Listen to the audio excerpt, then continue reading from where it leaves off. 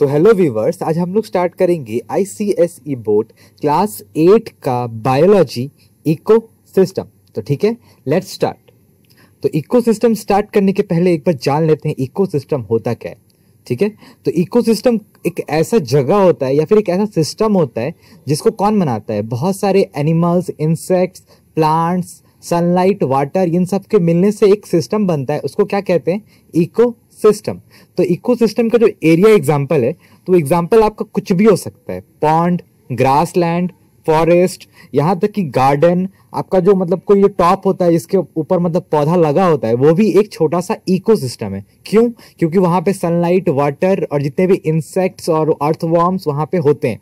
यहाँ तक कि मतलब आप अगर किसी मतलब अपने घर के पास जो नाला है, वहाँ देखेंगे तो वहाँ भी आपको एक छोटा सा इकोसिस्टम दिख जाएगा।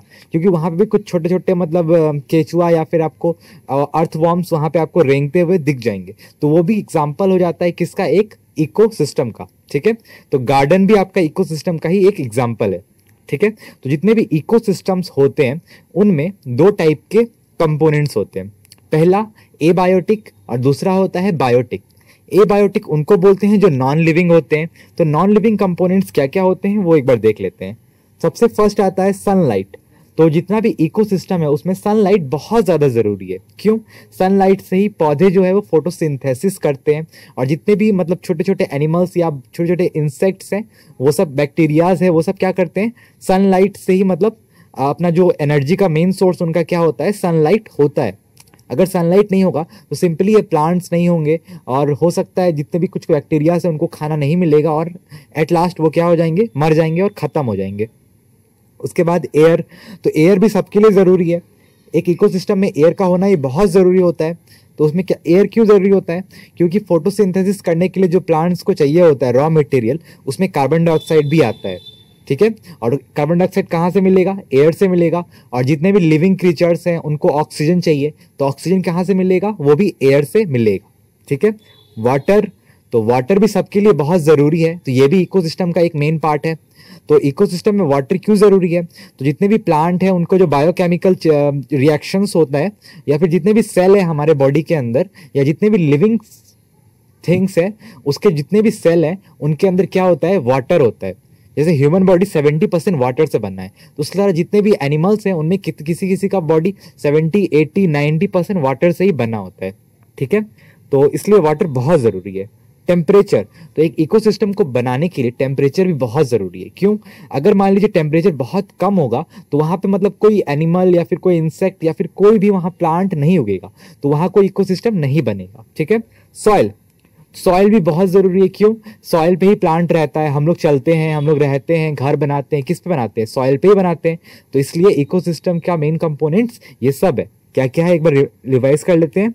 सनलाइट एयर वाटर टेम्परेचर और सॉइल ये सारे नॉन लिविंग या ए बायोटिक कंपोनेंट्स हैं। अब देख लेते हैं बायोटिक कंपोनेंट्स क्या क्या होते हैं।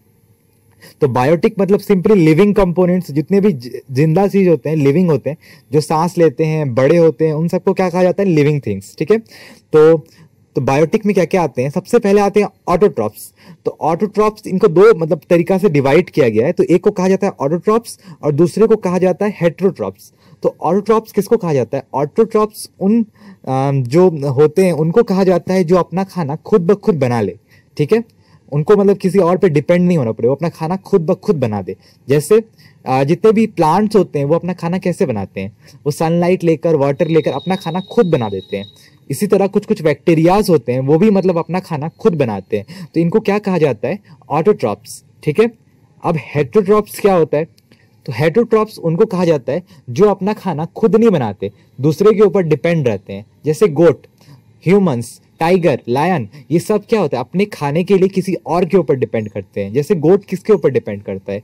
गोट डिपेंड करता है जो प्लांट है जो छोटे छोटे ग्रास हैं, उनके ऊपर डिपेंड करता है।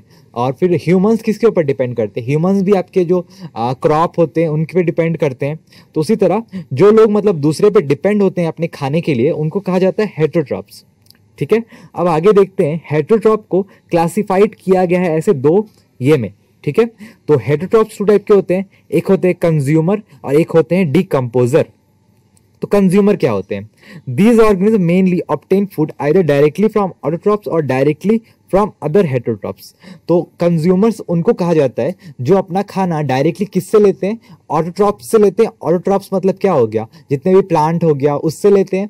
या फिर दूसरे जो हेट्रो दूसरे जो मतलब एनिमल हैं, उसके ऊपर इनडायरेक्टली डिपेंड होते हैं। ठीक है? जैसे टाइगर किसके ऊपर डिपेंड करता है? गोट या फिर डियर या फिर मतलब जो भी मतलब एनिमल है, उसके ऊपर वो डिपेंड करता है अपने खाने के लिए। और उसी तरह जो डियर है या फिर गाय है या फिर बकरी है तो वो लोग किस पे डिपेंड करता है? वो लोग जितने भी ऑटोट्रॉप्स हैं, यानी प्लांट उन पर डिपेंड करता है। ठीक है? तो आई होप आप समझ गए होंगे कंज्यूमर्स क्या होते हैं? उसके बाद तो कंज्यूमर्स को यहाँ दो टाइप में बांटा गया एक को कहा जाता है हार्बीवोरस और दूसरे को कहा जाता है कार्बीवोरस तो ये आपने पहले पढ़ा होगा। हार्बीवोरस उनको कहते हैं जो सिर्फ़ प्लांट खाते हैं और कार्बीवोरस उनको कहते हैं जो दूसरे एनिमल को भी खा लेते हैं। जैसे लायन ह्यूमंस उसके बाद टाइगर बियर ये सब। तो इसको क्या कहते हैं? कार्बीवोरस और यहाँ पे एक और चीज़ आता है, जिसको ओमनीवोरस बोलते हैं। तो ओमनीवोरस किसको बोलते हैं? जो दोनों चीज़ खाते हैं। वो प्लांट भी खाते हैं और दूसरे एनिमल्स का मीट भी खाते हैं। जैसे बियर ह्यूमन डॉग ये सब ये सब क्या होते हैं? ओमनीवोरस ठीक है? अब देखते हैं डिकम्पोजर क्या होता है। तो यहाँ पे ये दिखाया गया कंज्यूमर्स में। तो हर्बीवोरस वो होते हैं जो सिर्फ़ प्लांट्स खाते हैं और कार्बीवोरस वो होते हैं जो प्लांट्स और जो सिर्फ़ एनिमल्स को खाते हैं। दूसरे एनिमल्स को खाते हैं। ठीक है? और ओमनीवोरस वो होते हैं जो दोनों खाते हैं। एनी प्लांट्स भी खाते हैं और एनिमल्स को भी खाते हैं। तो हर्बीवोरस का एग्ज़ाम्पल क्या हो सकता है? जो सारे प्लांट्स खाते हैं, उनके एनिमल्स के नाम लिख दीजिए। जैसे deer rabbit goat horse sheep etcetera उसके बाद कार्निवोरस का, जो सिर्फ़ एनिमल्स के मीट खाते हैं। एग्ज़ाम्पल कैट स्पाइडर उसके बाद आपका जो टाइगर हो गया लायन हो गया, ये सब। उसके बाद ओमनीवोरस तो ओमनीवोरस जो दोनों खाते हैं, जैसे bear turtle monkey mice squirrel human etcetera ये सब क्या करते हैं? दोनों खाते हैं। तो यहाँ पे आप टाइगर लिख लीजिएगा और फ्रॉग हटा दीजिएगा इसके बाद डीकम्पोजर्स तो डीकम्पोज उनको कहा जाता है जो include microorganisms such as bacteria and fungi obtain nutrients breaking down the main dead plants and animals तो डिकम्पोजर्स उनको कहा जाता है जो मतलब दूसरे प्लांट या फिर जो आ, दूसरे डेड एनिमल्स हैं उनको सड़ा के अपना खाना ले। ठीक है? जैसे मान लीजिए कोई चीज़ सड़ गया है तो उस पर जो खाना मतलब उस पर जो, उसको जो खाते हैं, उनको क्या कहा जाता है? डिकम्पोजर ठीक है? जैसे कुछ कुछ बैक्टीरियाज होते हैं, हमारे खाने को जब सड़ जाता है तो उसके ऊपर जो हरा कलर का जो लेयर लग जाता है, वो सब क्या होता है? डिकम्पोजर होता है, ठीक है? अब देखेंगे वर्मी कंपोस्टिंग किसको कहते हैं। तो वर्मी कंपोस्टिंग क्या होता है? पहले एक बार कैसे एक्सपेरिमेंट करना है, वो देख लेते हैं, ठीक है? तो सिंपल से आपको एक बॉक्स लेना है ऐसे। उसके अंदर आपको मतलब कुछ ऐसे वेस्ट मटेरियल्स डाल देने हैं, जैसे वेजिटेबल का छिलका प्लांट का कुछ पार्ट उसके बाद वीड फिर गार्डन का जो घास फूस होता है वो डाल दीजिए। और और उसमें थोड़े से अर्थ वॉर्म्स को छोड़ दीजिए और थोड़ा पानी छीट कर छोड़ दीजिए और उसको मतलब बंद करके कहीं अंधेरे कमरे में रख दीजिए। और तीन या चार हफ़्ते बाद आप अगर देखेंगे तो उसमें क्या होगा? उसमें से मतलब बहुत गंदी स्मेल आएगी और उसके ऊपर एक ग्रीन कलर या फिर ब्लू कलर का फंगी टाइप जम जाएगा। तो वो सब क्या है? वो सब है डिकम्पोजर ठीक है? तो इसको करने के पहले आप कुछ प्रिकॉशंस ध्यान में रखने पड़ेंगे। आप ऐसे ही नहीं कर सकते। तो उसमें आप कोई प्लास्टिक बैग्स या ब्रोकन क्लास ये सब नहीं ऐड करेंगे, क्योंकि वो सब क्या होते हैं डिकम्पोज नहीं होते, ठीक है? Do not add food items containing salt oil vinegar meat etcetera तो जितने भी जो फ़ूड होते हैं, जिसके अंदर बहुत ज़्यादा सॉल्ट ऑयल और विनेगर होता है, वो सब क्या करते हैं? बहुत ज़्यादा मतलब गंदा बैक्टीरियाज को मतलब अट्रैक्ट करते हैं। तो वो जो बैक्टीरियाज होते हैं, वो डिज़ीज़ कॉजिंग होते हैं। मतलब अगर उस बैक्टीरिया से मतलब हवा में ही वो फैल के आपको मतलब बीमार कर सकते हैं, ठीक है? Do not add excess water अगर आप ज़्यादा पानी नहीं मिला देंगे तो क्या होगा कि जो डिकम्पोजर है, वो मतलब डिब्बा के भीतर से बाहर से मतलब बह बह के निकल जाएगा और मतलब आपके पूरा मतलब घर को गंदा कर देगा। तो इसलिए उसमें ज़्यादा पानी नहीं डालना चाहिए। और ज़्यादा पानी डालने से क्या होता है कि जो उसके भीतर जो छोटे छोटे जो मतलब बैक्टीरियाज हैं या अर्थ वॉर्म है, वो सब डूब के मर जाएँगे। इसलिए ज़्यादा पानी उसमें नहीं डालना। ठीक है? और फिर तीन या चार हफ़्ते के बाद आप देखेंगे कि उसके ऊपर मतलब एक सॉयल लाइक मटेरियल जमा हो चुका है। तो वो सॉयल लाइक मटेरियल क्या है? और वो सॉयल लाइक मटेरियल क्या होता है? वो कौन बनाता है? उसको डिकम्पोजर्स जो होते हैं बैक्टीरिया फंगी वो सब बनाते हैं। ठीक है? तो दिस इसी को कहा जाता है वर्मी कंपोस्टिंग और इसका मतलब एक यूज़ है, इसको नेचुरल फर्टिलाइज़र की तरह यूज़ किया जाता है। ठीक है? अगर आप इसको सन में ड्राई करके किसी प्लांट के जड़ों में देंगे तो वो जो प्लांट है, वो उसके लिए मतलब बहुत अच्छा मतलब हेल्प करेगा उस प्लांट को ग्रो करने में। ठीक है? तो वर्मी कंपोस्टिंग का यही काम है। तो do you know why vegetable waste are added to the box तो वेजिटेबल वेस्ट हमने मिलाया तो वो क्यों मिलाया? तो हमने मिलाया ताकि जो अर्थ वार्म है, वो क्या कर सके? अर्थ वार्म उस वेजिटेबल वेस्ट को खाकर और वो मतलब नाइट्रोजन जो बनाता है, वो बना सके। यानी मिट्टी जैसा कुछ वो बनाता है, वो बना सके। तो वो बना के क्या होता है? उसका फर्टिलाइज़र बनता है, ठीक है? नेचुरल फर्टिलाइज़र उसको बोलते हैं, ठीक है? तो ए बायोटिक कंपोनेंट्स हमने पढ़ा ए बायोटिक फैक्टर्स हमने पढ़ा, वो क्या थे? Sunlight temperature water air soil humidity etcetera humidity मतलब होता है हवा में जो पानी की मात्रा होती है, उसको ह्यूमिडिटी कहते हैं, ठीक है? और बायोटिक में हमने पढ़ा ऑडोट्रॉप्स ऑडोट्रॉप्स मतलब जो अपना खाना खुद बनाते हैं, जैसे प्लांट बैक्टीरियाज और हेटोट्रॉप्स हेटोट्रॉप्स में आ गए दो एग्जांपल कंज्यूमर और डिकम्पोजर कंज्यूमर के दो टाइप है हार्बीवोरस और कार्बनिवोरस हार्बीवोरस उनको कहते हैं जो सिर्फ़ प्लांट्स खाते हैं कार्बीवोरस उनको कहते हैं जो मीट खाते हैं, दूसरे एनिमल का। और डिकम्पोजर मतलब जो सड़े गले चीज़ों से अपना खाना लेते हैं, ठीक है? Next what will happen if the aquarium contain dead plants and animal and in not clean properly तो जो एक्वेरियम होता है, उसके अंदर अगर आप जो मरी मछलियाँ हैं, उनको छोड़ दे तो क्या रहेगा मतलब? तो अगर मरी मछलियाँ जो होती हैं, अगर आप उसमें छोड़ दे तो क्या होगा? जो मरी मछली है, उसके ऊपर क्या डिकम्पोजर्स या स्क्रावेंजर्स जमा हो जाएँगे। जैसे फंगी और बैक्टीरिया उसके ऊपर जमा हो जाएँगे। और जो मछली है, उसको अपना खाना बनाने लेंगे उसको खाने लगेंगे। तो उनका खाने से क्या होगा कि वहाँ पर जो पानी है, वो बहुत गंदा हो जाएगा। और इतना गंदा हो जाएगा कि मतलब जो बाकी जो जो मतलब ज़िंदा मछली सब है, वो सब भी मर जाएँगी। ठीक है? तो इसलिए कभी भी एक्वेरियम में जो मरी मछली है डेड फ़िश है, उनको रखा नहीं जाता, उनको निकाल दिया जाता है। नहीं तो क्या होता है, जो डिकम्पोजर्स होते हैं, वो पानी को, उसको खा के पानी को बहुत गंदा कर देते हैं। ठीक है? Are all environment similar can we identify different type of environment तो हाँ तो जितने भी इन्वायरमेंट होते हैं, वो दो टाइप के होते हैं। एक होते हैं नेचुरल दूसरा होता है मैन मेड तो जितना भी इकोसिस्टम होता है, वो नेचुरल होता है या फिर मैन मेड होता है। नेचुरल का एग्ज़ाम्पल क्या हो सकता है? तो जितने भी क्रॉप जहाँ पे मतलब sunlight water nature direct nature से आए मतलब उस पर ह्यूमन का कोई कंट्रोल नहीं हो डायरेक्ट नेचर से आए। बारिश से आए, पानी आए, और सनलाइट आपका वो सूर्य सन से आए तो वो डायरेक्टली मतलब नेचर उसको कंट्रोल करता है। तो उसको कहते हैं हम लोग नेचुरल इकोसिस्टम इसका एग्ज़ाम्पल क्या हो सकता है? फॉरेस्ट गार्डन उसके बाद गार्डन आपका मैन मेड भी हो सकता है। उसके बाद आपका जो रिवर है, ये सब क्या है? नेचुरल इकोसिस्टम का एग्ज़ाम्पल है। उसके बाद मैन मेड तो मैन मेड वो होता है जिसका मतलब टेम्परेचर पानी देने का ये ये सब कौन कंट्रोल करे? ह्यूमंस कंट्रोल करे, जो मतलब हम लोग कंट्रोल कर सकते हैं। जैसे जैसे एक्वेरियम हो गया छोटा सा कोई गार्डन हो गया तो इसका जो मतलब टेम्परेचर है वाटर कब देना है, कब नहीं देना है सनलाइट कितना देना है उसको, उसके बाद कौन, कैसा एयर उस पर पहुँचाना है, ये सब ह्यूमंस कंट्रोल कर सके, उसको कहते हैं ह्यूमन मेड या फिर मैन मेड इको सिस्टम ठीक है? आई होप आप समझ गए होंगे। उसके बाद इंटरेक्शन विथ एन इकोसिस्टम तो इंटरेक्शन कैसा होता है? If a carnivorous eat an herbivorous that does not mean that carnivorous was higher energy than the herbivorous तो जितने भी कार्बिवोरस होते हैं, जैसे लायन टाइगर ये सब क्या करते हैं? हार्बिवोरस को खा जाते हैं। तो इसका मतलब ये नहीं है कि जो कार्बिवोरस है, उसके अंदर मतलब बहुत ज़्यादा एनर्जी होगा। ठीक है? ऐसा नहीं होता। इसका उल्टा होता है। जो हार्बिवोरस है, उसमें ज़्यादा एनर्जी होता है कार्बिवोरस से। ठीक है? तो इनको कुछ मतलब डिवाइड किया गया है। कैसे डिवाइड किया गया देखते हैं। तो सबसे नीचे आता है प्रोड्यूसर प्रोड्यूसर उनको बोलते हैं जो बनाते हैं खाना, जैसे प्लांट उसके बाद प्राइमरी कंज्यूमर तो जो जो मतलब हार्बीवोरस सब जो होते हैं, जो इससे प्रोड्यूसर से अपना खाना लेते हैं, उनको कहा जाता है प्राइमरी कंज्यूमर जैसे फ्रॉग हो सकता है, फिर कुछ कुछ इंसेक्ट्स होते हैं जो प्लांट्स को खा जाते हैं तो वो कहाँ जाते हैं? प्राइमरी कंज्यूमर में। इसके बाद सेकेंडरी कंज्यूमर्स सेकेंडरी कंज्यूमर्स उनको बोलते हैं जो प्राइमरी कंज्यूमर को खा जाते हैं। जैसे स्नेक स्नेक किसको खा जाता है? फ्रॉग को। उसके बाद कुछ इंसेक्ट्स होते हैं तो कुछ इंसेक्ट्स को भी मतलब जैसे छिपकली या फिर कोई और फ्रॉग या फिर कोई मतलब टर्टल या फिर कोई मछली उसको खा जाती है तो वो किसमें जाएँगी? सेकेंडरी कंज्यूमर में।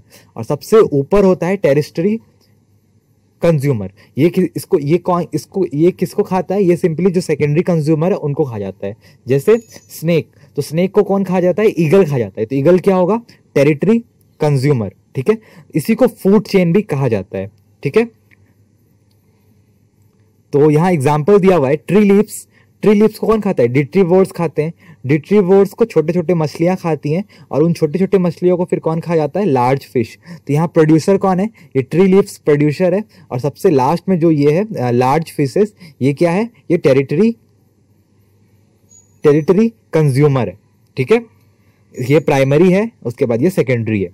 ठीक है? तो इसका एक और एग्ज़ाम्पल आप ले सकते हैं। तो ट्री ट्री को कौन खाता है? पैरासाइट बर्ड्स खाते हैं और पैरासाइट बर्ड को बर्ड लाइस खाता है और बर्ड लाइस को ये प्लैंगमेंटन प्रोटोजोवा इसको मतलब खाता है या हेल्प करता है। ये पैरासिटिक फ़ूड चेन है, ठीक है? इसमें जितने भी पैरासाइट्स होते हैं वो आते हैं, ठीक है? तो नॉर्मल फ़ूड चेन में ये एनिमल्स आपको दिख गए, लेकिन जो ये पैरासाइट्स जो होते हैं, इसमें पैरेट ये जो प्लेगिलेट प्रोटोजोन जोआंस है, ये एक पैरासाइट है। ठीक है? ये कहाँ होता है? ये सिंपली जो बर्ड होता है बर्ड लाइस उनके अंदर होता है। फ़ूड वेब किसको बोलते हैं? An interconnected, uh, network of food chain which form a multiple of feeding connections among different organisms of biotic component is called food web तो जैसे ये एक फ़ूड है इसके मतलब बहुत सारे एनिमल्स इस पे खाते हैं फिर उनको कोई और खाता है फिर उनको कोई और खाता है इसी को कहते हैं फ़ूड वेब जैसे यहाँ पे देखिए आपका यहाँ पे एक जो ग्रास है तो ग्रास तो बहुत कोई खाता है. ये ग्रास ऊपर भी ग्रास खाता है ये स्क्विरल भी ग्रास खाता है ये माइस भी ग्रास खाता है. तो और ये खरगोश जो है वो भी ग्रास खाता है। तो ऐसे करके क्या हो गया ये ग्रास कितने लोग खाते हैं? उसके बाद ये जो खरगोश है फिर ये ग्रास हॉपर को फ्रॉक खा जाता है। उसके बाद आ, फिर ये फ्रॉक को कौन खाता है? आउल या फिर ईगल खा जाता है। तो ऐसे करके सब कोई मतलब एक दूसरे के ऊपर डिपेंड करते हैं। अगर मान लीजिए आप एक भी चीज़ यहाँ से हटा दे जैसे मानते हैं हम लोग यहाँ से सिर्फ़ फ्रॉक को हटा दिए तो यहाँ पे क्या होगा? जो हमारा जो इकोसिस्टम है, वो मतलब एकदम फ़ूड चेन या फ़ूड वेब जो है, वो मतलब एकदम बर्बाद हो जाएगा। जैसे मान लीजिए ये जो, ये अगर नहीं खाएँगे अगर इसको तो ये मतलब ये बहुत ज़्यादा हो जाएगा। जो ग्रास हॉपर है, वो बहुत ज़्यादा हो जाएगा। और बहुत ज़्यादा होने से क्या नुकसान हो जाएगा? कि जितने भी हमारे क्रॉप्स हैं, जितने भी हमारे मतलब पेड़ पौधे हैं छोटे छोटे उनको ये लोग खाकर ख़त्म कर देंगे। तो इसलिए ये बहुत ज़रूरी है कि इनको कोई खा जाए। ठीक है? तो ऐसा हमारा इकोसिस्टम बनाया गया कि ताकि हर किस किसी का संख्या कोई बहुत ज़्यादा नहीं हो जाए, सारे मेंटेन में रहे। ठीक है? Next energy enter the ecosystem from the sun solar radiation part through the atmosphere most of the this radiation are absorb by earth surface तो जितना भी जो हमारा हमारे जो इको सिस्टम में जितना भी हमारा जो एनर्जी होता है, वो सारा कहाँ से आता है? वो सारा स्वयं से आता है। ठीक है?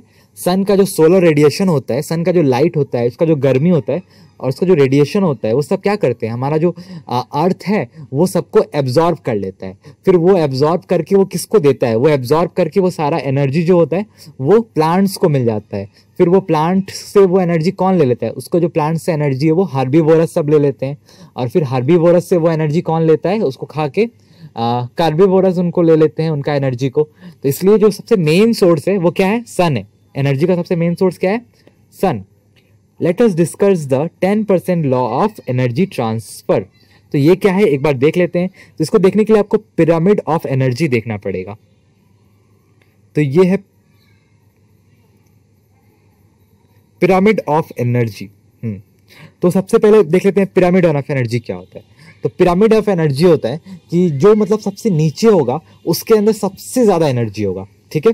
जैसे प्लांट तो प्लांट के जब सबसे पहले, सबसे ज़्यादा एनर्जी किसके भीतर होता है? प्लांट के भीतर होता है, क्योंकि वो डायरेक्टली सॉइल से ले लेते हैं, ठीक है? उसके बाद वो जो, उसका जो दस परसेंट एनर्जी है, वो ट्रांस उसका, वो जो, उस प्लांट्स को जो खा जाता है, उसके अंदर जो एनर्जी जाती है, वो पूरा हंड्रेड परसेंट एनर्जी नहीं चली जाती है सन की। उसका सिर्फ़ टेन परसेंट एनर्जी ही जा पाता है, ठीक है? जैसे मान लीजिए प्लांट के पार्ट जो एक प्लांट है, उसके अंदर हंड्रेड हंड्रेड एनर्जी है। तो अगर हर्बी बोरस उसको खा जाता है, जैसे मान लीजिए कोई गोट है, उसको खा जाती है तो गोट को ऐसा नहीं कि हंड्रेड एनर्जी ही मिल जाएगा, उसको कितना मिलेगा? सिर्फ़ टेन परसेंट मिलेगा, यानी सिर्फ़ टेन एनर्जी मिलेगा। ठीक है?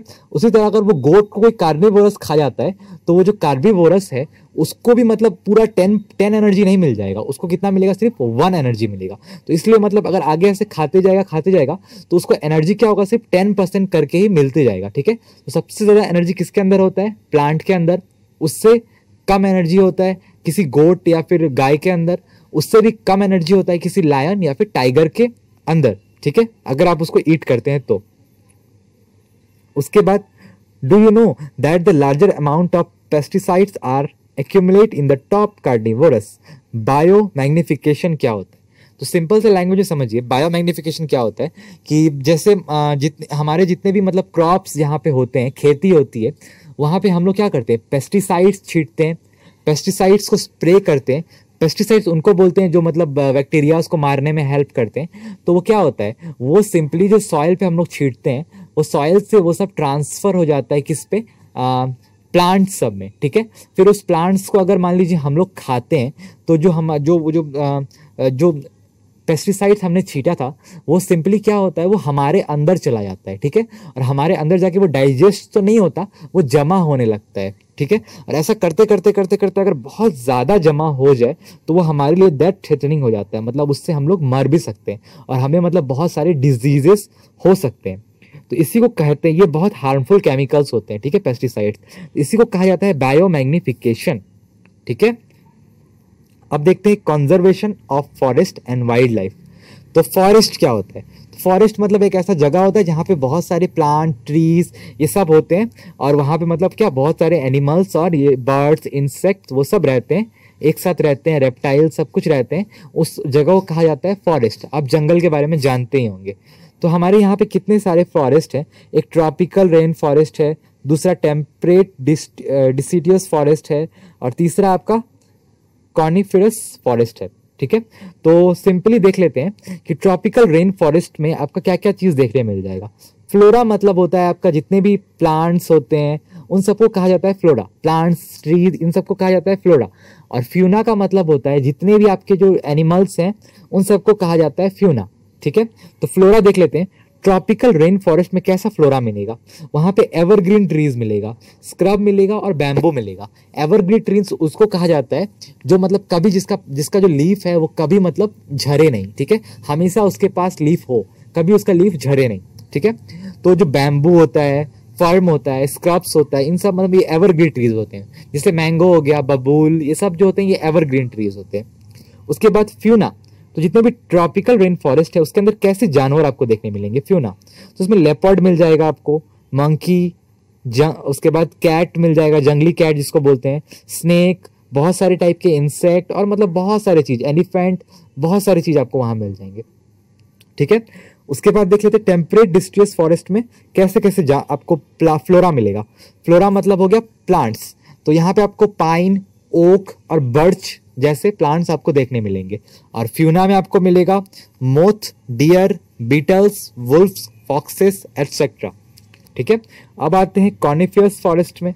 कॉर्निफियस फॉरेस्ट में आपको फ्लोरा मिल जाएगा पाइन एंड फर ट्री ये आपको ज़्यादातर माउंटेन में जैसा फॉरेस्ट होता है ना, वो कॉर्निफियस फॉरेस्ट होता है। ठीक है? तो वहाँ आपको पाइन जैसा ट्री मिलेगा और फर का ट्री मिलेगा।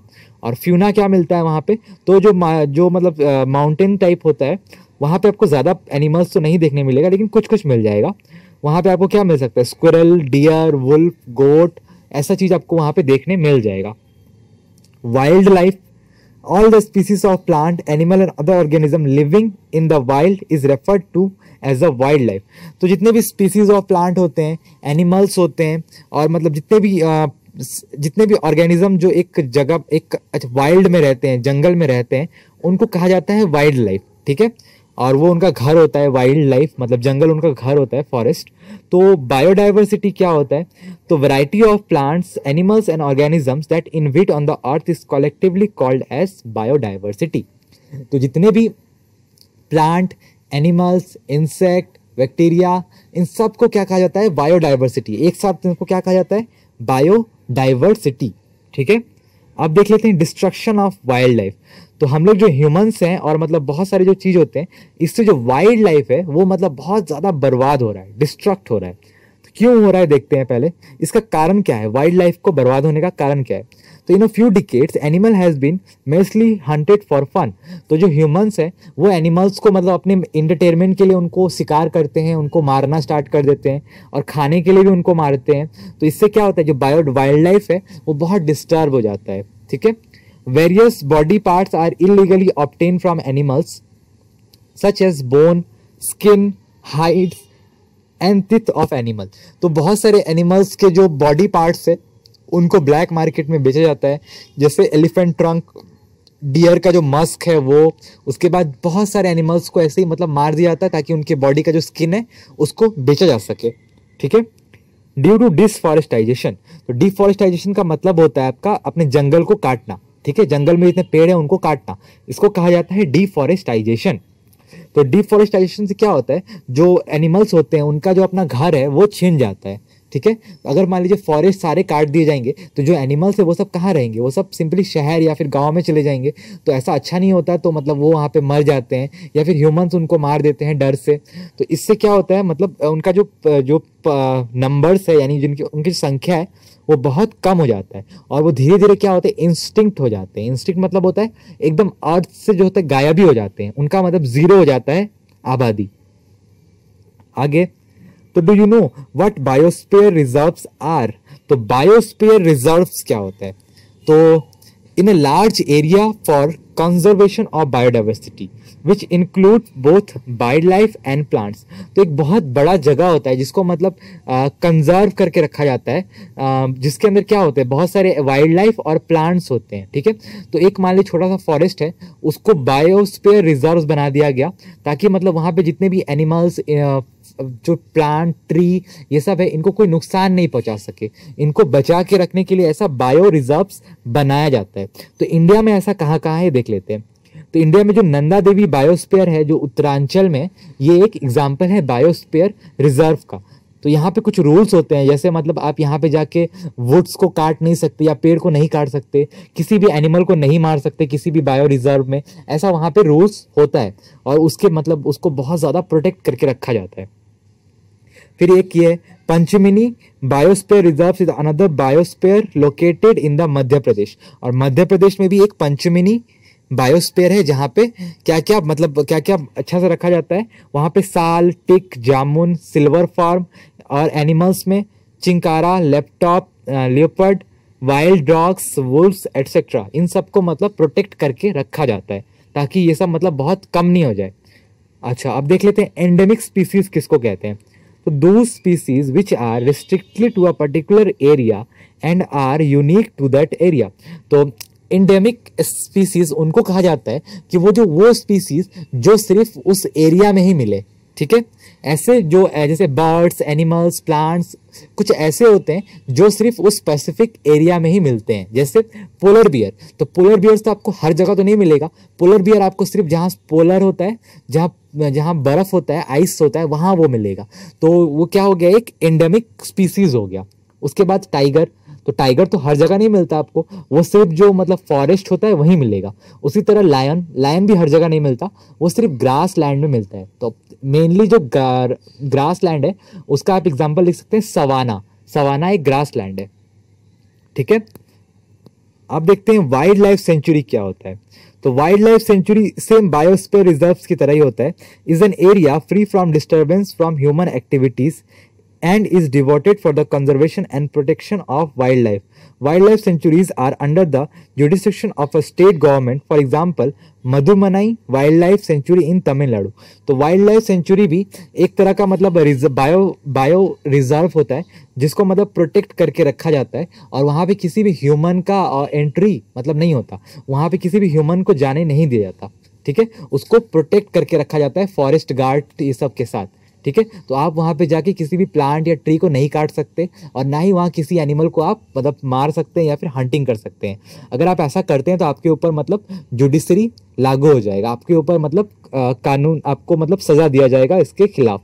ठीक है? तो ये कौन कंट्रोल करता है? वहाँ का जो स्टेट गवर्नमेंट है ये उसको कंट्रोल करता है। ठीक है? सज़ा देने का जो काम है और उसको जो कंट्रोल करने का काम है उसका काम कौन करता है? स्टेट गवर्नमेंट तो एग्ज़ाम्पल ये मधुमनई वाइल्ड लाइफ है जो तमिलनाडु में है। ये एक एग्ज़ाम्पल है वाइल्ड लाइफ सेंचुरी का, ठीक है? अब देखते हैं नेशनल पार्क तो national park are those areas where no human activities allowed at all the purpose of national park is to preserve the flora and fauna landscape and the historical objects of then area तो national park भी simple उसी तरह होता है। वहाँ पे भी आप कोई ह्यूमन एक्टिविटी नहीं कर सकते और वहाँ पे भी मतलब फ्लोरा फ्यूना और लैंडस्केप को बचा के रखा जाता है। फ्लोरा मतलब प्लांट्स फ्लोना मतलब एनिमल्स इन सबको बचा के रखा जाता है, ठीक है? तो इसका एग्ज़ाम्पल क्या हो गया? Kaziranga national park in Assam तो काजीरंगा नेशनल पार्क जो आसाम में, वहाँ पे एक एनिमल्स को बच, एक एनिमल को बचा के रखा जाता है, उसका नाम क्या है? वन हॉर्न राइनो तो जो राइनो है, उसको वहाँ पे बचा के रखा जाता है काजीरंगा में, ठीक है? तो do you know Satpura national park in Madhya Pradesh was the first forest reserve in India तो जो सतपुरा नेशनल पार्क है, वो मध्य प्रदेश का मध्य प्रदेश का जो फ़र्स्ट रिज़र्व है इंडिया का इंडिया का जो पहला फॉरेस्ट रिज़र्व है उसका नाम क्या है? सतपुरा नेशनल पार्क जो कहाँ पे मध्य प्रदेश में। वहाँ पे क्या होता है? वहाँ पे टाइगर्स को बचा के रखा जाता है प्रिजर्व करके रखा जाता है। But why is there a need to protect tiger तो टाइगर को बचाने का क्या ज़रूरत है? तो हंटिंग के लिए हंटिंग कर कर के ह्यूमंस ने जो टाइगर का जो पॉपुलेशन है, उसको इतना कम कर दिया है कि वो मतलब कुछ अगर ऐसा चलता रहा तो वो कुछ दिन में क्या हो जाएँगे? एक्सटेंट हो जाएँगे मतलब एकदम ही खत्म हो जाएँगे ज़ीरो हो जाएँगे, ठीक है? तो ह्यूमंस क्यों करते हैं टाइगर का हंटिंग टाइगर को क्यों मारा जाता है? तो वो वो लोग मतलब दिखाने के लिए या फिर मतलब इंटरटेनमेंट के लिए, या फिर जो टाइगर का जो स्किन होता है, उसके लिए, या फिर जो टाइगर का जो क्लॉज होता है, या तित होता है, इसके लिए मतलब ह्यूमंस क्या करते थे पहले? टाइगर को मतलब मार देते थे, ठीक है? तो इससे क्या हो गया? जो टाइगर का पॉपुलेशन है, वो बहुत कम हो गया। तो अब मतलब टाइगर का पॉपुलेशन इतना कम नहीं हो, उसको बचाने के लिए हम लोग क्या करते हैं? National park reserves wildlife protection वो सब करते हैं, ताकि टाइगर को बचा के रखा जा सके। ठीक है? अब देखते हैं व्हाट इज़ प्रोजेक्ट टाइगर तो प्रोजेक्ट टाइगर क्या है? तो प्रोजेक्ट टाइगर जो सेंट्रल गवर्नमेंट का एक मतलब प्रोजेक्ट है, जो कब लागू किया गया था स्टार्ट कब किया गया था वो 1973 में। तो उसके, उसमें, उसका जो मेन ऑब्जेक्टिव क्या था? कि टाइगर का जितना पॉपुलेशन है उसको बचा के रखा जाए और उसका जो पॉपुलेशन है उसको बहुत ज़्यादा करने में हेल्प किया जाए। मतलब उसको ज़्यादा किया जाए, ताकि टाइगर और उसको प्रोटेक्ट किया जाए, ताकि जो टाइगर है उनको कोई मार नहीं सके। ठीक है? और इसका मतलब एक, उनको अपना हैबिटेट्स में रखा जाता है। जैसे मान लीजिए टाइगर को आप किसी मतलब सर्कस में तो रख नहीं सकते, क्योंकि मतलब ये लॉ के खिलाफ है। और उसके बाद टाइगर आपका कहाँ रहता है? उसका जो नेचुरल हैबिटेट है, वो क्या होगा? फॉरेस्ट होगा, ठीक है? और टाइगर प्रोजेक्ट जो होता है, इसके चलते मतलब एक फ़ायदा हुआ कि अब देखा गया है कि 1973 के बाद से अब जो टाइगर की जो पॉपुलेशन है, वो बहुत ज़्यादा ग्रो की है ठीक है? तो ये जो प्रोजेक्ट है, ये काम कर रहा है अभी। तो व्हाट इज़ इंडेंजर्ड स्पीसीज तो endangered species are those whose numbers are rapidly diminishing to the level of extinction तो इंडेंजर्ड स्पीसीज उनको उन स्पीसीज को कहा जाता है मतलब एनिमल्स का उन प्रजाति को कहा जाता है, जो मतलब इतने कम हो चुके हैं हंटिंग या फिर कुछ और कारण से इतना कम हो चुके हैं कि वो इंस्टिंक्ट हो जाए मतलब ख़त्म हो जाए एकदम ज़ीरो हो जाए। अर्थ पे उनका मतलब एक भी आबादी नहीं बचे, ठीक है? तो एग्ज़ाम्पल क्या होता है? इंडेंजर्ड स्पीसीज का आपका एग्ज़ाम्पल होगा जो घरियाल है ब्लैक बक है साइबेरियर क्रेन है फॉरेस्ट आउटलैंड है टाइगर राइनो ये सब किसमें जाते हैं? इंडेंजर्ड स्पीसीज आपने सुना होगा सलमान खान का जो मतलब वो आ, ब्लैक बग को उन्होंने मार दिया था उसके चलते उनको मतलब अभी तक काफ़ी ज़्यादा मतलब आ, कोर्ट में पेश होना पड़ता है। तो वो क्यों क्यों हुआ था? क्योंकि जो ब्लैक बग है वो एक मतलब बहुत ज़्यादा प्रोटेक्टेड एनिमल है ठीक है? उसको प्रोटेक्ट करके रखा जाता है क्योंकि वो इंडेंजर्ड स्पीसीज है। उनका जो पॉपुलेशन है वो ऐसे ही बहुत कम है और सलमान खान ने उसे ही मार दिया था ठीक है? इसीलिए।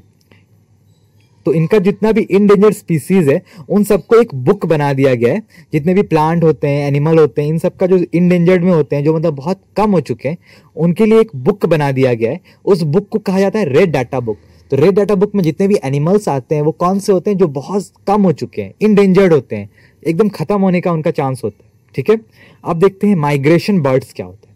तो माइग्रेशन बर्ड्स मतलब होता है वो बर्ड्स जो सीज़न चेंज करके मतलब जब सीज़न जब चेंज होता है ठंडा से गर्मी पड़ता है या गर्मी से ठंडा पड़ता है या फिर फ़ूड के लिए, या फिर अपने बच्चों को जन्म देने के लिए एक जगह से दूसरे जगह पे आते हैं, ठीक है? उनको कहा जाता है माइग्रेटरी बर्ड जैसे आपका जो इसका एग्ज़ाम्पल हो जाएगा जो साइबेरिया में जब ठंड पड़ती है तो कुछ बर्ड्स होते हैं, वो लोग उड़ के कहाँ साइबेरिया यूरोप में जब बहुत ज़्यादा ठंड पड़ती है तो कुछ मतलब बर्ड या फिर क्रेन्स होते हैं, वो उड़ के इंडिया में आ जाते हैं। ठीक है? ताकि इंडिया में थोड़ी सी गर्म रहे और साइबेरिया में ठंड तो बहुत ज़्यादा पड़ती है, वो माइनस में टेम्परेचर हो जाता है। तो वो लोग क्यों आते हैं यहाँ पे? ताकि मतलब उनको अच्छा हैबिटेट मिल सके, खाना मिल सके और यहाँ इंडिया में वो अपने बच्चों को भी जन्म देते हैं, ठीक है? एग ले करते हैं। Food pyramid and independence dependence organisms अब फ़ूड पिरामिड क्या होता है? एक बार ये फिर से देखेंगे। तो फ़ूड पिरामिड देखते हैं एक बार। तो ये फ़ूड पिरामिड है। पहले आपने पढ़ा था सबसे नीचे आता है प्रोड्यूसर दूसरे बाद आता है इंक्रीजिंग कंज्यूमर थर्ड में आता है सेकेंडरी कंज्यूमर और लास्ट में आता है टेरिटरी कंज्यूमर फ़र्स्ट में आपका क्या एग्ज़ाम्पल लिख सकते हैं? एग्ज़ाम्पल हो सकता है प्लांट प्राइमरी कंज्यूमर का एग्ज़ाम्पल हो सकता है ग्रास ऑपर सेकेंडरी कंज्यूमर का एग्ज़ाम्पल हो सकता है आपका फ्रॉग और टेरिटरी कंज्यूमर का एग्ज़ाम्पल हो सकता है आपका स्नेक और इसके ऊपर भी अगर आप जा सकते हैं तो जा सकते हैं, ठीक है? इसके ऊपर जाएँगे तो आप क्या आ जाएगा आपका? टेरिटरी का एक और एग्ज़ाम्पल आ जाएगा आपका ईगल ईगल स्नेक को खा जाता है। तो जो पिरामिड है इकोलॉजिकल पिरामिड उसको तीन टाइप में बांटा गया है। Pyramid of number pyramid of biomass और पिरामिड ऑफ़ एनर्जी तो पिरामिड ऑफ़ नंबर क्या होता है? तो पिरामिड ऑफ़ नंबर होता है the pyramid of number represent a relationship between producer herbivorous and carnivorous in term of number और abundance तो जो पिरामिड ऑफ़ नंबर सिंपली है क्या, समझिए, ठीक है? तो ये आपको नंबर्स बताता है कि वो एनिमल या फिर वो चीज़ कितना ज़्यादा है। जैसे ग्रास तो हमारे यहाँ पे सबसे ज़्यादा क्या होगा? ग्रास होगा। उससे कम क्या होगा? ग्रास हॉपर होगा। अगर ग्रास से कम अगर ज़्यादा ग्रास हॉपर होता है तो वो सारा ग्रास को खा जाएगा। तो ऐसा नहीं होता। तो हमारे यहाँ पे सबसे ज़्यादा क्या होता है? ग्रास होता है। उसके बाद ग्रास से भी कम होता है ग्रास हॉपर और ग्रास हॉपर से भी पॉपुलेशन में कम होता है रैट और रैट से भी कम पॉपुलेशन होता है स्नेक का। और स्नेक से भी कम पॉपुलेशन होता है किसका? हॉक का। ठीक है? तो ये पिरामिड ऑफ़ नंबर मतलब रिलेशन इसका यही है। इसके बाद पिरामिड ऑफ़ बायोमास तो बायोमास अगर देखा जाए तो जो ग्रास होता है, जितना भी वर्ल्ड में ग्रास है, अगर आप उसको सबको एक जगह लेकर आ जाए तो मतलब वो बहुत ज़्यादा हो जाएगा। ठीक है? बहुत ज़्यादा मतलब काफ़ी बहुत भारी हो जाएगा। बायोमास उसका बहुत ज़्यादा होगा। उसके बाद आप जित, उसके बाद जितने भी ग्रास हॉपर है, आप अगर उसको एक साथ लाकर उसका वेट करें तो उसका वेट भी जो होगा, वो किस, वो जो ग्रास है उससे कम होगा, ठीक है? मान लीजिए अगर 10 किलो ग्रास है तो उसका जो ग्रास उसके बाद जो ग्रास हॉपर का आप वेट करेंगे तो ग्रास हॉपर का जो वेट है, वो सिंपली है ग्रास से कम होगा, क्योंकि ग्रास हॉपर ग्रास से ऐसे भी नंबर में बहुत कम होते हैं, ठीक है? तो सबसे पहले क्या आएगा? ग्रास इसके बाद ग्रास हॉपर उसके बाद फ्रॉग, इसके बाद स्नेक तो तो हमने देखा कि सबसे ज़्यादा बायोमास किसके अंदर था? ग्रास के भीतर सबसे ज़्यादा बायोमास था। बायोमास मतलब होता है वो कितना भारी है मतलब उसमें कितना ज़्यादा वेट है, ठीक है? उसके बाद जो ग्रास हॉपर है, उनका वेट ग्रास से कम होगा। उसके बाद जो फ्रॉग है, उसका जो टोटल वेट है वो ग्रास से कम होगा। और उसके बाद लास्ट में सबका आएगा स्नेक तो स्नेक का जो पूरा जितना भी स्नेक है, उसका वेट फ्रॉक से कम होगा, ठीक है? आपका मैं एक स्नेक का बात नहीं कर रहा हूँ, बहुत सारे स्नेक अगर आप जमा कर ले तो ठीक है? ड्राई या फिर fresh weight next pyramid of energy जैसा हमने पहले पढ़ा था कि सबसे ज़्यादा एनर्जी किसके भीतर होगा? सबसे ज़्यादा एनर्जी होगा प्लांट के भीतर, क्योंकि वो डायरेक्टली सन से ले लेते हैं। सन का एब्जॉर्ब करके वो सारा एनर्जी डायरेक्टली प्लांट के भीतर जाता है। तो सबसे ज़्यादा एनर्जी किसके भीतर होगा? प्लांट के भीतर। उससे उसका जो टेन परसेंट एनर्जी है, वो अगर वो प्लांट को जो खाते हैं, उनके अंदर चला जाएगा। तो वो कौन खाता है उनको? हर्बीवोरस खाते हैं। उसके बाद अब जो हार्बीवोरस को खा जाए, उसके अंदर उसका टेन परसेंट एनर्जी चला जाएगा। ठीक है? तो जैसे लायन अगर किसी डियर को खाता है तो डियर का जो टेन परसेंट एनर्जी है वो कार्बी जो जो लायन खाया है, उसके पास चला जाएगा। ठीक है? पूरा हंड्रेड परसेंट कभी नहीं जाता। तो यहाँ पे आपका तीनों का एक बार समरी ले लेते हैं। क्विक समरी तो सबसे पहले हम लोग को देखा था कि पिरामिड ऑफ़ नंबर सबसे ज़्यादा किसका संख्या होगा, सबसे ज़्यादा नंबर किसका होगा? ग्रास का। उसके बाद सबसे, उसके बाद उससे कम संख्या होगा आपका ग्रास हॉपर्स का। उससे कम संख्या होगा आपका फ्रॉक का। और एट लास्ट सबसे कम नंबर होगा स्नेक या फिर उसको जो खाते हैं वो लोग का। उसके बाद बायोमा पिरामिड ऑफ़ बायोमास सबसे ज़्यादा भारी होगा आपका जो सबसे नीचे है, यानी ग्रास। उसके बाद उसके ऊपर जो है वो उससे कम भारी होगा। उसके बाद जो उसके ऊपर है, वो उससे कम भारी होगा और जो सबसे ऊपर है, वो सबसे कम भारी होगा। ठीक है? और ये आप समझ गए तो independence independence interdependence between organisms तो जितने भी ऑर्गेनिजम्स हमारे इकोसिस्टम में मिलते हैं, वो सब क्या होते हैं? एक दूसरे के ऊपर डिपेंड करते हैं, किसी ना किसी रूप से। ठीक है? जैसे मान लीजिए कि जो ग्रा जो गोट है, वो किसके ऊपर डिपेंड करता है? वो डिपेंड करता है ग्रास के ऊपर, अपने खाने के लिए। अगर ग्रास उगे ही नहीं तो गोट क्या होगा? भूख से मर जाएगा। ठीक है? उसी तरह जो टाइगर है, वो टाइगर किस पे डिपेंड करता है? गोट या फिर डियर पे? अगर डियर और गोट होगा ही नहीं तो टाइगर क्या खाएगा? तो टाइगर भी मर जाएगा ऐसे ही। तो इसी तरह जो सारे चीज़ होते हैं, वो किसी ना किसी पे डिपेंड करते हैं अपना काम के लिए। और जितने भी फ्लावर वाले प्लांट्स होते हैं, वो अपना जो पोलेन है, पोलेन जो है, उसको ट्रांसफ़र करने के लिए इंसेक्ट्स के ऊपर डिपेंड करते हैं। तो अगर प्लांट ही नहीं होंगे तो इंसेक्ट्स नहीं होगा। इंसेक्ट नहीं होगा तो प्लांट का जो पोलन है, वो ट्रांसफ़र नहीं होगा। और अगर इंसेक्ट नहीं होगा तो जो फ्रॉग है, वो क्या खाएगा? फ्रॉग नहीं होगा तो जो स्नेक है, वो क्या खाएगा? और स्नेक ही नहीं होगा तो आपका जो ईगल है, वो क्या खाएगा? तो ऐसा करके जो सारे जो एनिमल्स होते हैं ऑर्गेनिजम्स होते हैं, वो एक दूसरा पे डिपेंड करते हैं अपना फ़ूड या फिर किसी और चीज़ के लिए। नेक्स्ट अब यहाँ देखते हैं सिम्बोसिस क्या होता है। ठीक है? तो सिम्बोसिस क्या होता है ये देख लेते हैं एक बार। सिम्बोसिस मतलब उस टाइप का इंट्रैक्शन को बोलते हैं जहाँ पे दोनों को फ़ायदा हो ठीक है? ऐसा एग्ज़ाम्पल जिसको दोनों में फ़ायदा हो एग्ज़ाम्पल के साथ देते हैं एक बार। जैसे आपका यहाँ पे आ, जैसे जो जो छोटे छोटे इंसेक्ट्स होते हैं, जो प्लांट का जूस पीते हैं, जो फूल का जो रस पीते हैं, वो लोग में दोनों का फ़ायदा होता है। क्या फ़ायदा होता है? कि जो इंसेक्ट होता है, उनको अपना खाने के लिए जूस मिल जाता है, और जो प्लांट होता है उसको अपना क्या फ़ायदा मिलता है? तो जो प्लांट होता है, वो अपना जो पोलेन है, वो ट्रांसफ़र करने के लिए इंसेक्ट का मतलब इंसेक्ट का हेल्प ले लेता है, ठीक है? जो पोलेंस है, वो इंसेक्ट के पैर में लग जाता है और जब वो दूसरे पौधे में जाता है तो उसका जो पैर से वो जो पोलेन है, वो दूसरे प्लांट में चला जाता है, ठीक है? तो ये रिप्रोडक्शन के लिए बहुत ज़रूरी है, ऐसा करना पड़ता है उनको। तो जहाँ पे दोनों का फ़ायदा हो, उसको कहा जाता है सिम्बोसाइसिस उसके बाद आपका जो राइनो होता है या फिर जो क्रोकोडाइल होता है और एक बर्ड का जो रिलेशन होता है, वो आपको देखने मिल जाएगा।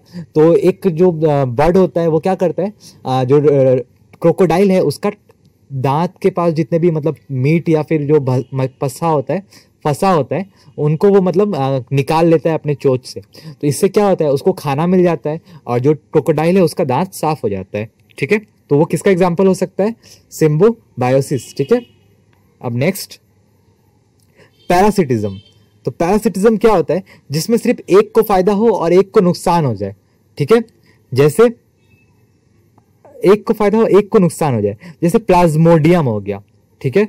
तो प्लाज्मोडियम जो होता है, वो ह्यूम मस्कीटो से ह्यूमन के अंदर चला जाता है। ठीक है? तो ह्यूमन के अंदर जाने से उसको तो फ़ायदा हो जाता है, उसको तो खाना मिल जाता है। लेकिन ह्यूमन को फ़ायदा नहीं होता। ह्यूमन को क्या होता है? नुकसान हो जाता है। ह्यूमन को क्या होता है? डिज़ीज़ हो जाता है। तो उस डिज़ीज़ को क्या बोलते हैं? मलेरिया बोलते हैं। तो उसी तरह मतलब जिसमें सिर्फ़ एक का फ़ायदा हो और एक का नुकसान हो उसको बोलते हैं पैरासिटिज्म इसका एग्ज़ाम्पल आप समझ गए होंगे। उसके बाद कुछ कुछ जो एनिमल होते हैं उसके अंदर एक कोई पैरासाइट होता है वो रह जाता है। वो क्या करता है उनके बॉडी के अंदर ही मतलब उनको आ, उनके बॉडी के अंदर ही उसके बॉडी को खाने लगता है। इससे क्या होता है जो जो एनिमल है जो उसके अंदर है वो मर जाता है। तो इसमें सिर्फ़ एक का फ़ायदा हुआ है जो भीतर है उनको फ़ायदा हो गया तो वो जिसके अंदर वो जाते हैं, उनको अपना होस्ट बना लेते हैं, ठीक है? गुलाम बना लेते हैं। तो इसमें ज़्यादातर एग्ज़ाम्पल आपका होगा प्लाज्मोडियम जर्म्स बैक्टीरिया ये सब इसके अंदर आते हैं, ठीक है? पिडेशन तो पिडेशन मतलब होता है एक प्रे होगा और एक होगा प्रिडेटर प्रे मतलब होता है शिकार प्रिडेटर मतलब होता है शिकारी. तो टाइगर और डियर के बीच में ये रिलेशन होता है। टाइगर क्या करता है? डियर को मार के खा जाता है, ठीक है? तो उसमें जो टाइगर है, वो क्या हो गया? वो हो गया प्रेडेटर और जो डियर है, वो क्या हो जाएगा? वो हो जाएगा प्रे ठीक है? तो इसमें भी वही होता है, एक को बेनिफिट होता है, एक को हार्म होता है। तो इसका भी एग्ज़ाम्पल आप देख सकते हैं प्रेडेटर ये बड़े बड़े एनिमल्स में ज़्यादा होता है, ठीक है? तो एग्ज़ाम्पल में टाइगर क्या है? Tiger preying on deer deer tiger क्या करता है? डियर को शिकार बनाता है, ठीक है? रिस्क टू इको सिस्टम अब इको सिस्टम का रिस्क क्या है? जो हम लोग बर्बाद करते हैं, उसका रिस्क क्या हो सकता है? तो जो इकोसिस्टम हम लोग बर्बाद कर रहे हैं, क्यों कर रहे हैं? Increasing industrialization increasing population and increasing specific approach have a pose a great risk to the ecosystem तो हम लोग जो इकोसिस्टम बर्बाद कर रहे हैं, कैसे?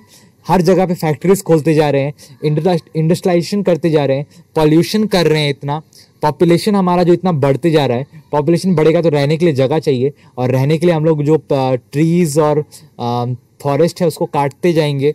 पेपर के लिए प्लांट्स को काटा जाता है ट्रीज को काटा जाता है और भी बहुत सारे काम के लिए ट्रीज को काटा जाता है। इससे क्या होता है? इकोसिस्टम जो है वो बहुत डिस्टर्ब हो जाता है और बहुत सारे एनिमल्स को मार दिया जाता है ऐसे ही।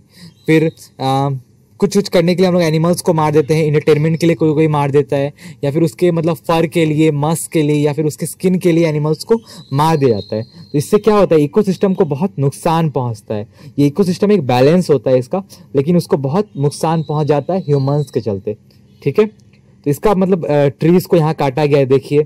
तो इसका मतलब बहुत नुकसान हो सकता है। इससे क्या हो सकता है? बहुत सारे जो एनिमल्स हैं, वो इंस्टिंक्ट हो जाएँगे। तो इससे मतलब जो हमारा बैलेंस है, वो बिगड़ जाएगा। ठीक है? जैसे अगर मान लीजिए जो जितने भी हमारे बर्ड्स हैं, वो सारे मतलब खत्म हो जाए, सारे बर्ड्स खत्म हो जाए तो क्या होगा? हमारे जितने भी इंसेक्ट्स हैं, वो बहुत ज़्यादा पॉपुलेशन हो जाएगा उनका। और वो लोग क्या करेंगे? जितने भी हमारे क्रॉप्स हैं, उसको खा जाएँगे, और लास्ट में हमारे लिए खाने के लिए कुछ नहीं बचेगा। तो ये हमारे लिए बहुत ख़राब होगा। इसलिए मतलब इन सब का जो बैलेंस है, वो बनाए रखना बहुत ज़रूरी है। लेकिन हम लोग क्या कर रहे हैं? ये डिफॉरेस्टाइजेशन इंडस्ट्रियलाइजेशन और पॉपुलेशन को बहुत ज़्यादा कर रहे हैं अपना और फ्लड्स आती है तो इससे क्या होगा? फ्लड आना बहुत तेज़ हो जाएगा, बहुत ज़्यादा बाढ़ आएँगी या फिर सूखा पड़ जाएगा या फिर मतलब आपका जो क्लाइमेट है वो बहुत गंदा हो जाएगा पॉल्यूशन हो जाएगा वहाँ पे, ठीक है? तो ऐसा नहीं करना चाहिए। इसको बचाने के लिए हम लोग क्या कर सकते हैं? जितने ज़्यादा ट्रीज हो सके, उतने ज़्यादा ट्रीज लगा सकते हैं।